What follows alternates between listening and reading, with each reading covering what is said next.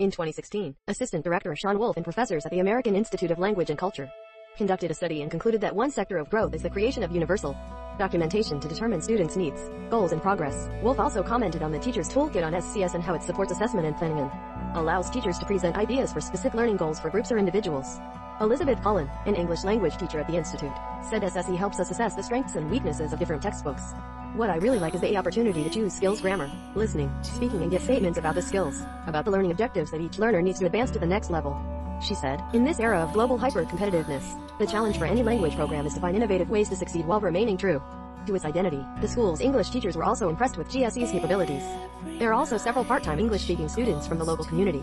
There are also 221 international students from 59 different countries of which China, Albania, Brazil, Japan, Morocco and Nigeria are the most represented countries on campus. The university offers an intensive English language program. This standardization means that the curriculum can easily adapted or redesigned to meet students' needs in a short period of time. In Salem, officials have determined that GSE is the ideal tool for a modern, evidence-based approach that continuously stimulates research, discussion and innovation. It provides students, teachers, and administrators with a truly comprehensive measurement tool that allows them to set and measure goals and go beyond the usual. Joni Hagages, one of the teachers, believed that the GSE was an excellent tool for monitoring student performance.